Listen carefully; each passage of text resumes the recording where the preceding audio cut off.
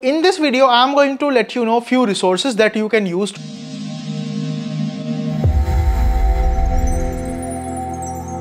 So hello everyone, welcome back with another video of Salesforce Geek channel and in this video we are going to talk about how you can learn Salesforce Flow in 2024. Like probably you know that why Salesforce flows are so important to learn but if any beginner is watching this video, I just want to let them know why Salesforce flows are so much important in 2024, let's say in 2023 as well. The reason is very simple. Earlier we have two more automation tool called workflow rules and process builder. So Salesforce basically depreciated them. Like now you are not longer to create new workflow rules or process builder and also Salesforce is no longer going to provide support on both of these tools. So the companies that are using Salesforce using workflow rules and process builder to automate things in their orgs, right? But now they need to migrate those Salesforce workflows and process builder into Salesforce flows. So obviously they are going to need a person who know more about flows, right? Who can migrate those uh, workflow rules and process builder into flows and who can create their business process by using flow skill set. So that's why most of the recruiter out there are looking for a person who is also skilled in Salesforce flow. So if you learn Salesforce flow, it is going to shine your resume that okay, this person also know the low code tool automation in Salesforce that is flow. So that's the one thing that why the why these are so important. The second reason of learning flows is that's the only automation in Salesforce flow that you can use without writing any code, right? And if you also want to use code, you can basically use Apex and Flow.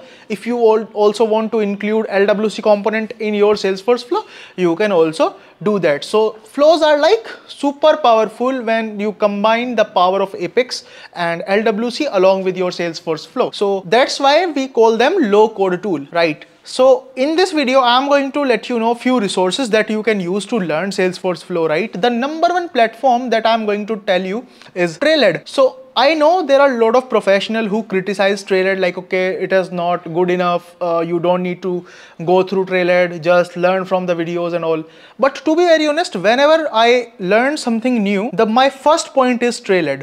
I complete few modules so that I will get a basic overview like okay this is the things that I need to learn and when you learn from Trailhead, make sure you are following a particular trail mix.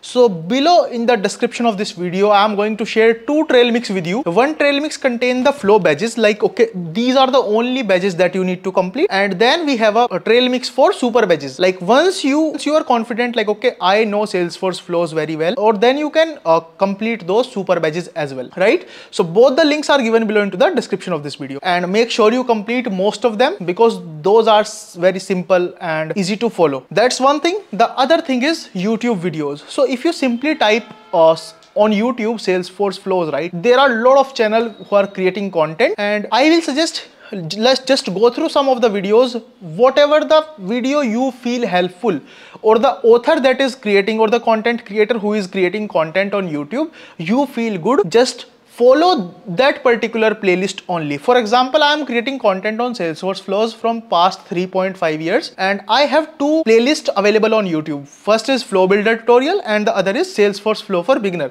So if you are a beginner, you can just go through that particular uh, playlist and complete all those videos. Now that's one thing, but I am not suggesting like, okay, you only follow my playlist. It's up to you. Whatever the teacher or whatever the author you feel best, just learn from them. And now that's the second one. Now in the third one, we also have a paid course. In this paid course, we are teaching Salesforce Flow literally from scratch. Like we are explaining all the elements, all the basic, basic things of Salesforce flow. Content that we are delivering is more than 40 hours. Uh, now you have a question like, okay, Shubham, when we have so much free resources, why should I get that particular course? Now it's totally up to you whether you want to enroll into the course or not. I am just delivering you what are the things that I am providing into that course. The course basically contain more than 90 plus tutorials, 40 plus hours of content and the USP that we have is we are also providing doubt classes. So monthly we have two to three doubt classes, right? Where you can uh, take part in. It's basically a Zoom class where all the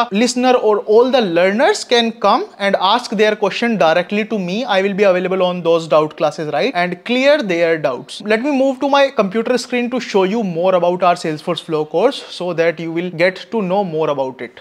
So here I am on the URL. This URL you can simply get it from the description of this video, right? And once you click on the link, so see, here we have 13 modules right? 81 session right now.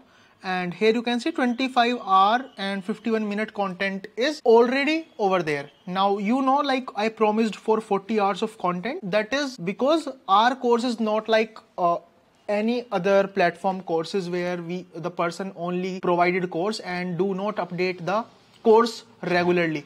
Now why our course is unique? Because we are continuously up upgrading our course as you know salesforce flows keep on upgrading by every single release. Salesforce add some new features right? So that's why i decided to providing the content regularly. Like we are keep on updating the content of this course. So 40 hours will be just uh, one month away. After january you can see there will be content more than 40 hours available into our platform.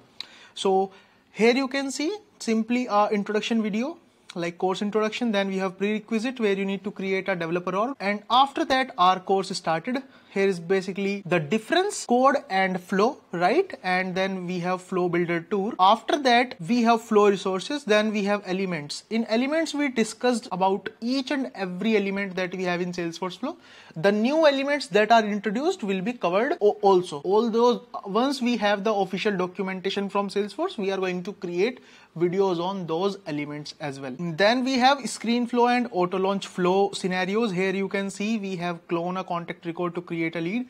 So these are like business scenarios. And why we are basically selling this course because the content that we are going to provide you will not see on YouTube. On our YouTube channel, you will not see these videos. These are ex exclusive for our Salesforce Flow course. Now after this, we have record triggered flows explanation then we have record triggered flow scenarios and here you can see how much scenarios we covered. Then we have scheduled triggered flows right?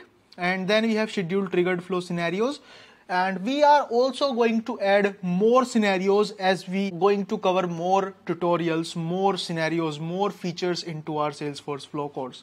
Then we have important concept of uh, triggered flows then migration to flow. This is the topic that i am going to cover after fab because after fab we have a lot of scenarios which i am working on right now right? So i am going to add into this particular section.